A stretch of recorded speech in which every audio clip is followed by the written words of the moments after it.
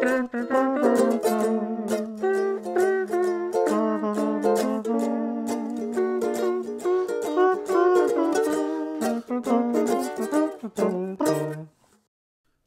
this is um these are my hands. This is um this is going to be a bit more reflective, I think. It's going to be a bit more um I don't know. I don't know what it's going to be. That's the joy of this uh, channel. That um, we never know what, what we're going to do next. I like to, uh, yeah, I'm just going to start putting marks on this paper so that I don't just spend all my time introducing what I'm going to do. Um, there are times when I need to kind of relax a bit and deregulate my whatever that means my crazy head. And um, I I first started doing this about 20 years ago when I was um, I was doing a contract, uh, a kind of interim management contract at an organisation that doesn't exist anymore. It didn't exist much longer after I left. It was called the, Com- uh, the Commission for public and patient involvement in health, I think. It might have been patient and public. Uh, CPPIH, snappy acronym. Um, and I, what it what it involved for me, apart from the work, was it involved um, going and staying up in Birmingham two nights a week, three nights a week sometimes, I think. It was like I did four night four days in the Birmingham office and um, one day supposedly in the London office, but actually oh, I can't remember. It was it was more than twenty years ago. Anyway, while I was there, uh, another, I suppose, another part of this story. So this is because this is uh, 2000, it's the end of 2003, beginning of 2004. And the other part of that story is that um, uh, let's think uh, a couple of years before I started on that on doing that project?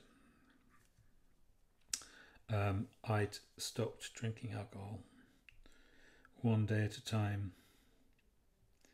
And I was talking about myself as being sober because I wasn't drinking but I, I wasn't very sober emotionally psychologically. Uh, it's one of the things with kind of long term alcohol abuse is that it, yeah, it, um, well, it inhibits development.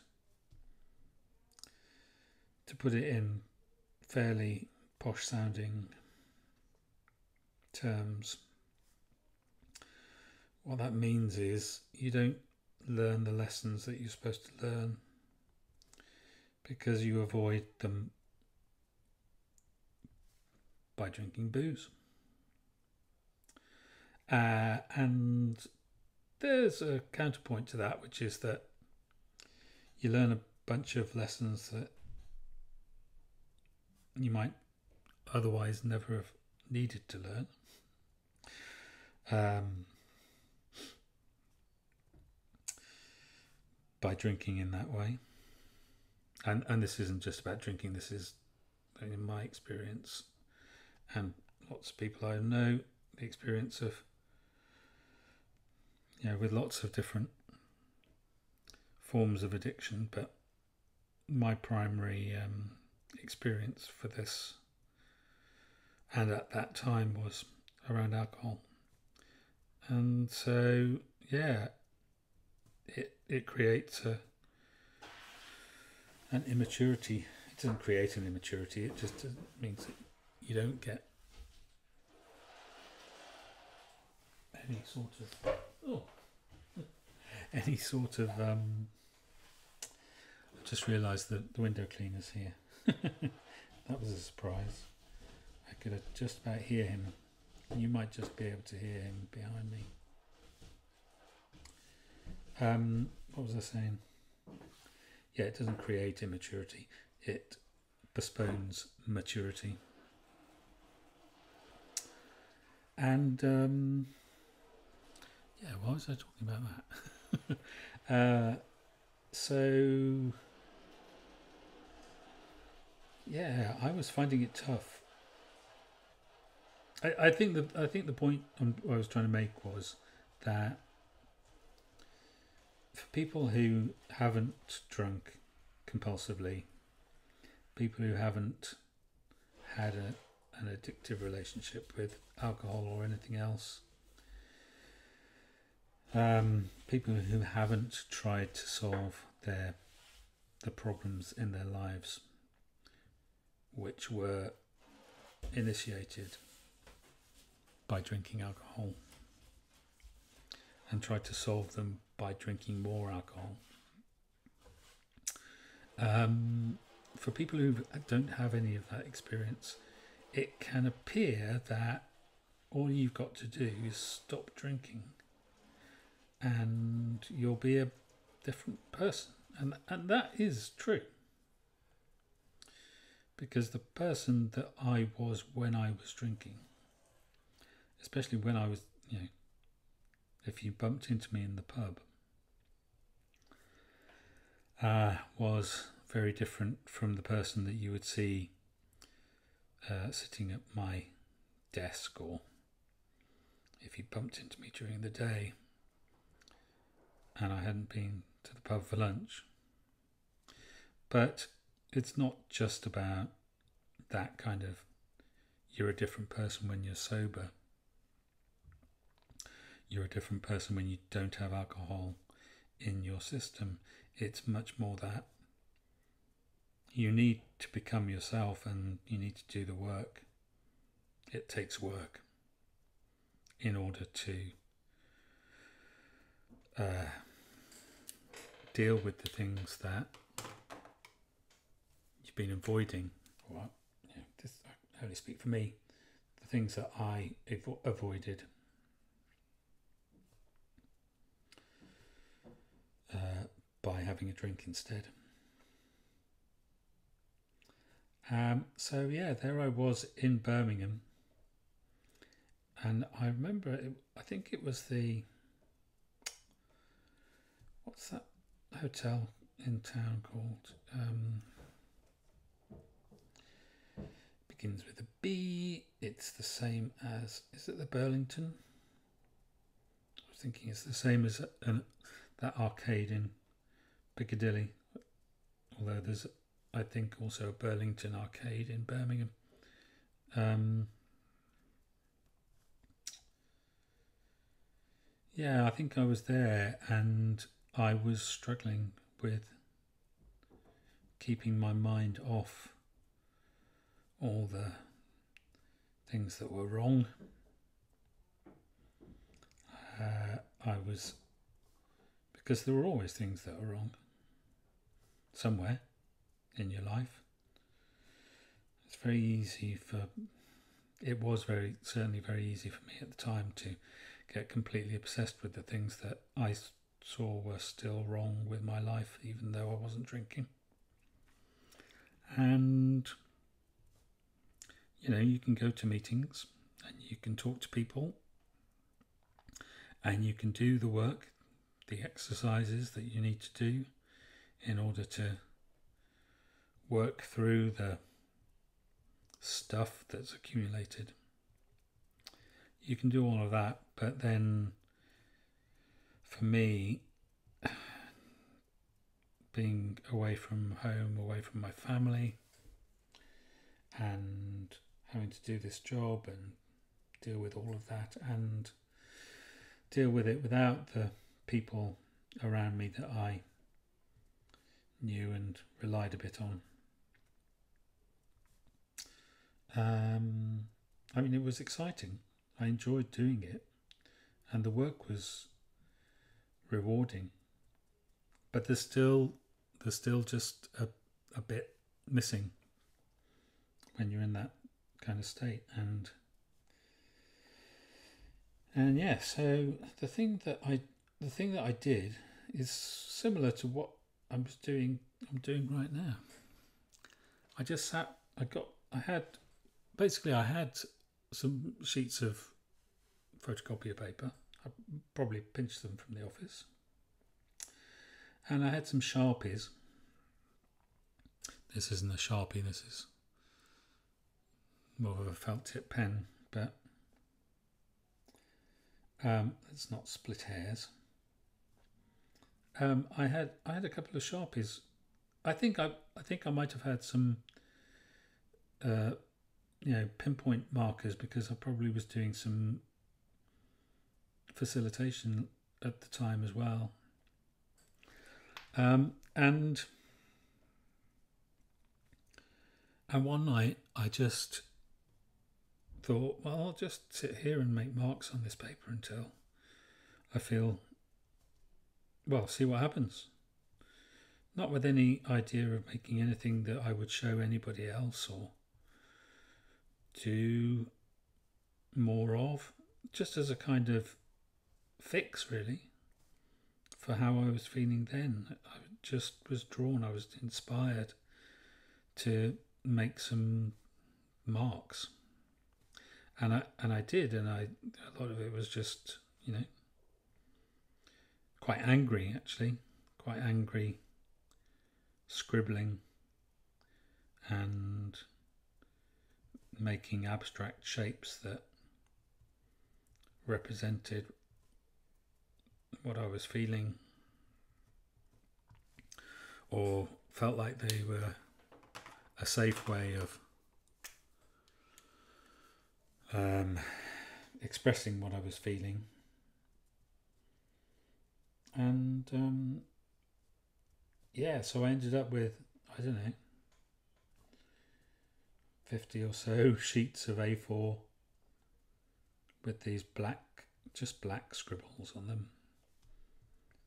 Some some things that looked a bit more like they were things and some things that didn't and and then I don't know whether it was the same time or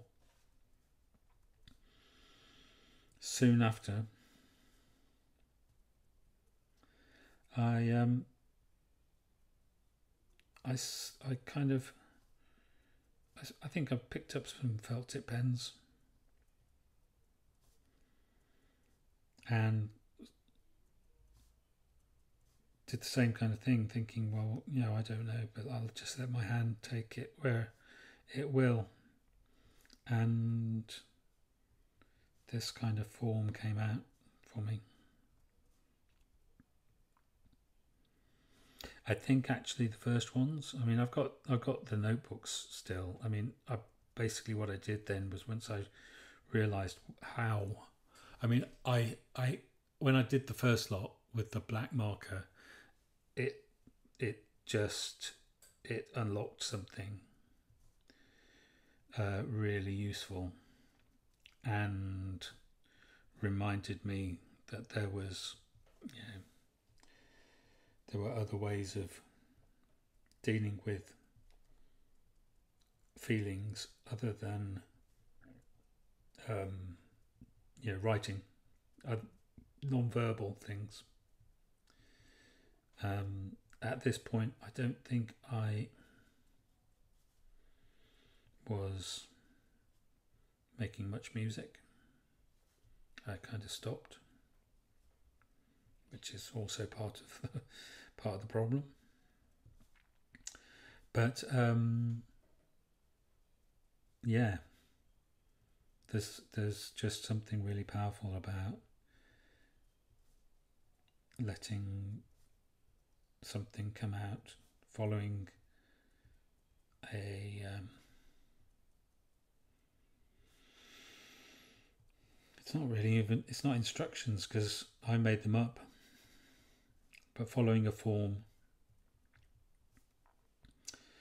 um, just making this line in the way that I made that first one in a wriggly kind of a way where it folded back on itself and then to alternate colours in lines outside round and round and round until it's finished whatever finished means. And I experimented with different colours and blah blah blah you know um, experimented with making different shapes and you know doing them in and using different pens and it's all very interesting but actually sitting down and doing it is the process is the is the beneficial thing. It's like not it's not about the inputs it's not about the outputs it's about the doing. It's about the thing we the the state of being that we get into. When we're actually doing this kind of activity, putting everything else behind us, ignoring the window cleaner who's gone now, ignoring all of the bits of admin that I need to be doing, ignoring the kind of uh, thinky thinky state that I've been in, thinking about what I'm doing and wanting to express more the thinking behind the work that I'm doing, and then getting tangled up in doing the work. Uh, and ending up not doing or doing doing the stuff that I want to be doing, but in a way that is not satisfying. It's not like this. You know, shooting a shooting a vlog and bringing it home and editing it down and uploading it to YouTube is not of the same class of activity as this is.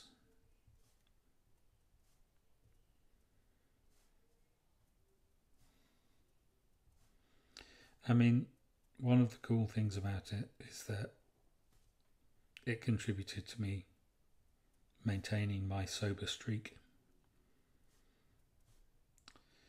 my non drinking streak, which is now one day at a time. Um, 22 years. It'll be 23 years in January.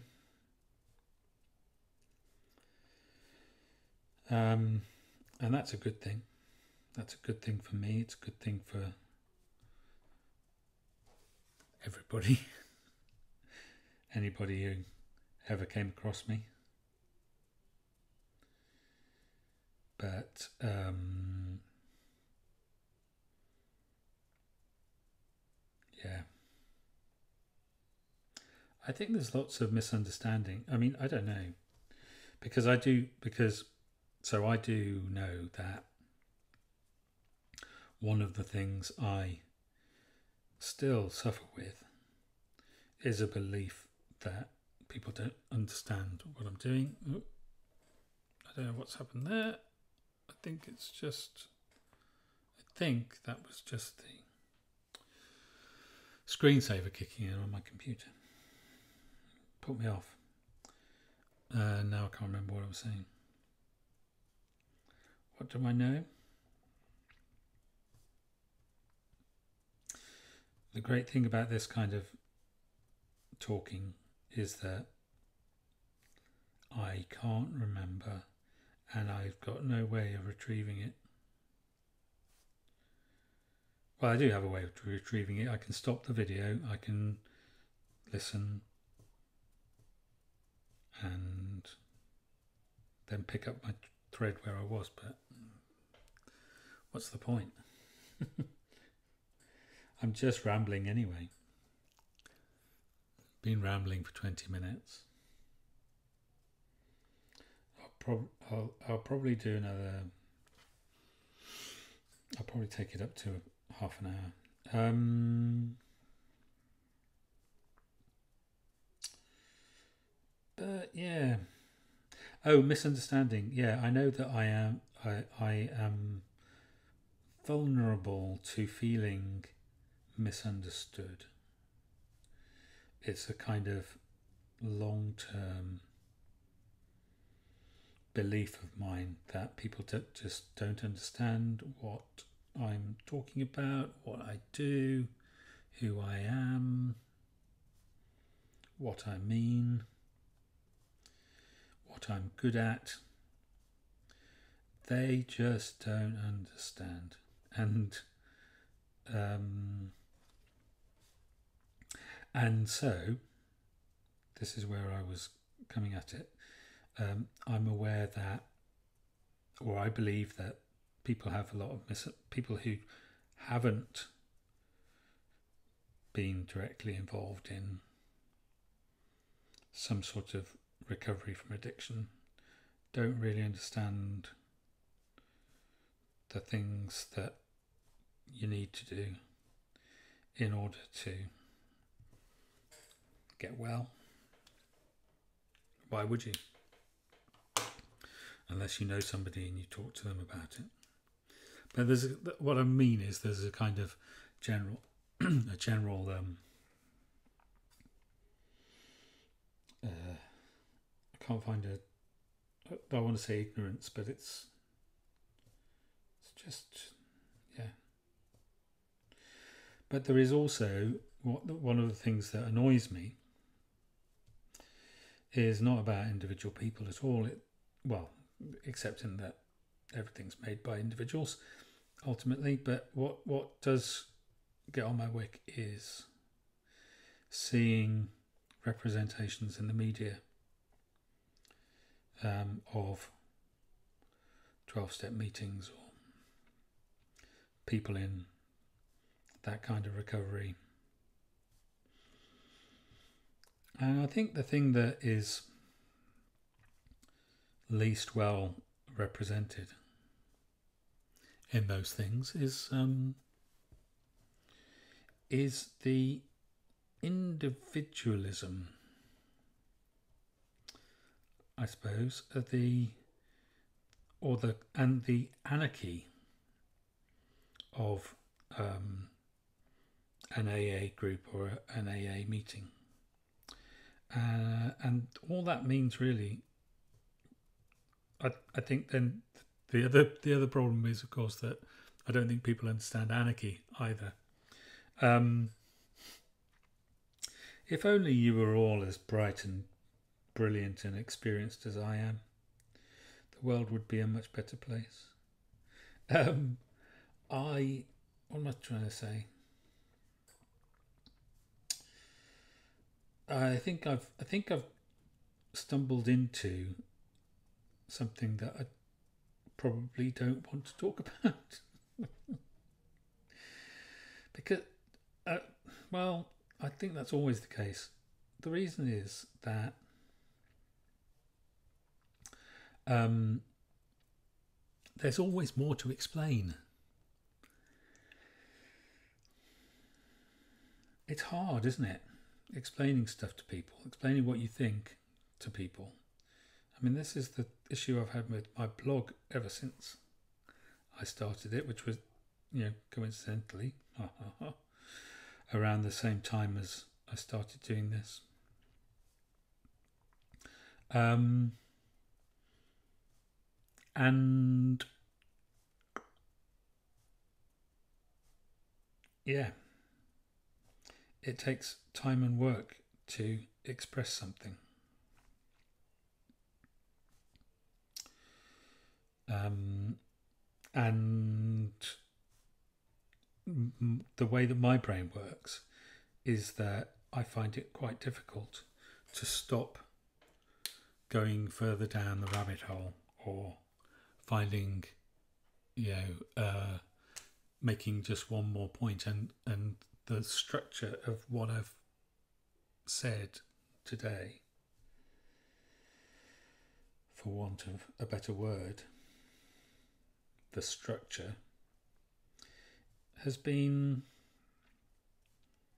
you know, ever more and more complicated and kind of the the the line kind of bifurcates splits and I go off in another one direction and so the tree of it the tree of what I've said ends up being really complicated and I end up in um, you know at the end of some sort of branch and then need to pull myself back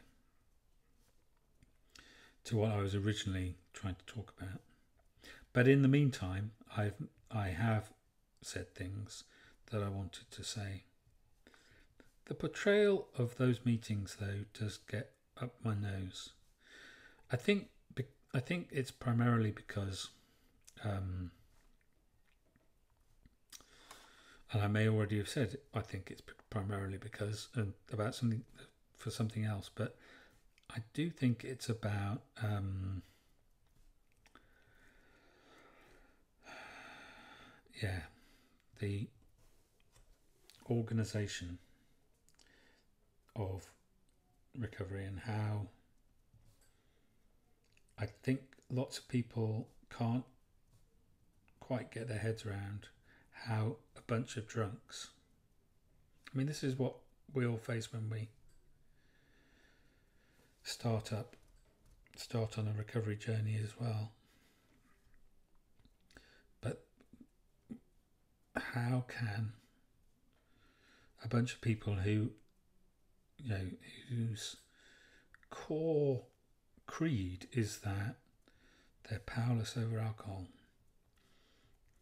that they're powerless and their life has become unmanageable by them. How can such a group of people come to um, organize something in a and and to do it in a different way than all sorts of other things are organized to do it in a non-hierarchical mostly um, much much flatter kind of approach. And how yeah how, how does it work? And, and it, i can see that if you need to put this into a tv drama you haven't got time to do that to to make it any um and you know to make it so simple or something I don't know. There's a lot more to say about this. I've done half an hour, and I I think that needs to be enough. What an interesting ramble. I'm going to see where this takes me. I mean, it's an interesting ramble for me. For you, it's um, it's a kind of voicemail that doesn't get anywhere. but it's also a voicemail that does also contain the creation of some art and yeah. And as I said earlier I don't think the art is this. And I don't think that the art is this. The the actual you know the thing that's encased, encased by this little window on the, my world the art is in